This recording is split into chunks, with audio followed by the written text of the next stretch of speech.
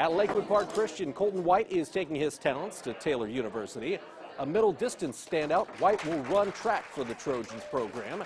It's a family affair for him, as he's had a lot of family go to Taylor before, and that includes his dad, who also ran track for the Trojans. It feels like a second home, uh, honestly. It'll be a lot of fun. I'm looking forward to experiencing some of the same, same things they experienced. Uh, just kind of looking forward to it. I think it'll be a lot of fun. Colton's full interview is posted on the WANE.com sports page. I'm Glenn Marini, and that is your local sports report.